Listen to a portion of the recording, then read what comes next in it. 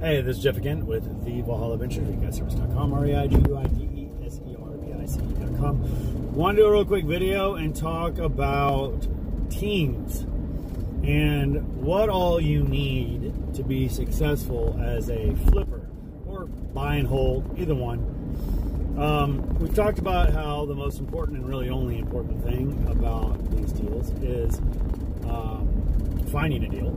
So once you have a deal, if you want to actually flip it, if you want to go through the whole process and uh, recapture all of that potential equity, here's what you got to do. You got to have a team. Now, yes, you can you can do the HGTV thing and do it yourself, um, and that's fine. You're more than welcome to go about that. Um, but still, even then, you'll be far more successful as a flipper or a whole uh, buy and hold investor if you have a team. You can do it yourself, but it's hard to scale when you're doing everything on your own, right? So having a team is real important. You know, having if you're going to flip, especially having a good realtor to list your property that you're not trying to negotiate with and just get the cheapest person, but someone that will actually come out, know your property, watch it through the flip process, really understand what all work you've put into this property, and then take an effort to sell that property beyond just listing it on the internet and waiting for people to come to them. One that will show up to showings and you know speak with your voice and represent you on that property. It's very important. Not super easy to find, but you can find it. And so finding a realtor to be on your team, really important. Another thing that's important to be on your team is contractor. Now, this can even just be a handyman that doesn't have like a whole team of people and all that stuff and a bunch of equipment. It can literally just be a handyman. But you got to acknowledge that they're just a handyman and that they can't you know, do everything. But they also need to be able to acknowledge that.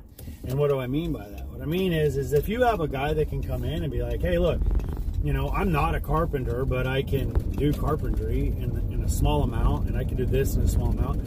You can put him on those tasks or on those tasks that are typically very difficult to find. It's it's not the bigger projects, you know, a new roof, foundation. Plenty of companies that do that. Plenty of reputable companies that you can reach out to.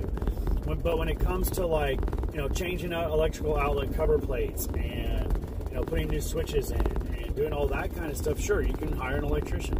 That's going to cost you a tremendous amount of money versus having someone that is able to do very, very small things like that. Change out plumbing fixtures, change out light fixtures, change out switches.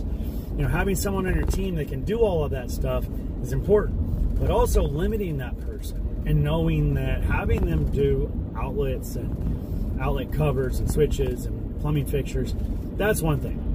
It's a completely different thing if you're like having them change out all the breakers on the main panel.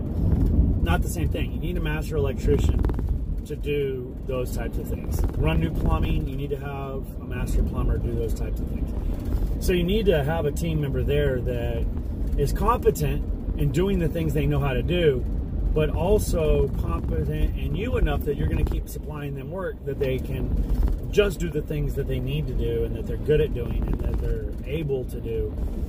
Therefore, being able to keep doing the things they're good at because that's what tends to happen with trades is that you know the workload they like working for someone. So they're like okay i like working for this person. What am i going to do? I'm going to do more work for them. And so as they try to do more and more work for them they start getting into where that person is running out of work for them to do and so they start getting into areas of doing things that they necessarily wouldn't want to do shouldn't do whatever and that creates a lot of issues now I spent enough time on that. But that's if you have a handyman that knows their own limitations and knows that you have plenty of work for them in other areas, then that's really what is important and more important than you know having a jack of all trades uh, and a master of none because you just really want to have someone that is a jack of all trades and, and, a, and a master of a few, but the ability to say, okay.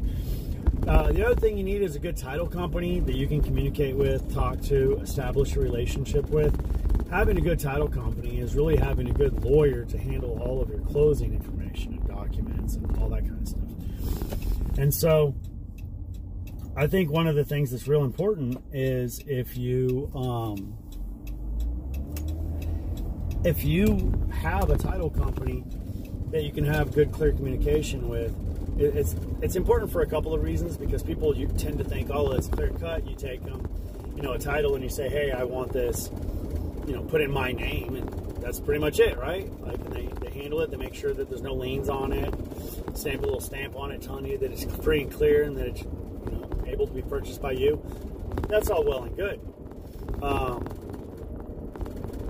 however if they stop communicating with you and letting you know what's going on, if they, you know, aren't being uh, helpful in the sense of taking care of, uh, there's a weird new giant privacy fence. It's way bigger. You probably might have seen that in the background. Um, but I think that one of the things that having a title company is, is that if there is any problems, they're going to let you know right away if there's things that need to be handled, taken care of, it's not going to have to be one of those things where you're having to constantly follow up with them and say, hey, did this get taken care of? Hey, did this get taken care of?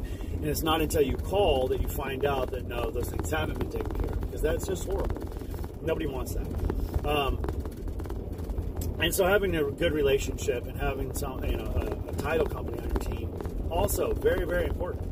Um, and so ha- having an established team of people that can help you in that sense is just the most the most basic. I mean, get, eventually you're going to want to have an attorney that you know is trustworthy and is going to not try to just you know make you rich off of your lawsuits, but is just going to protect you and then also make sure that nobody takes advantage of you. And also we'll be able to give you counsel because you know they're called general counsel, but so few of them want to take the time to actually counsel. So make sure when you're are establishing a relationship with an attorney, that that general counsel is willing to provide you some counseling, because I think that uh, too many lawyers forget that part of the the title, right?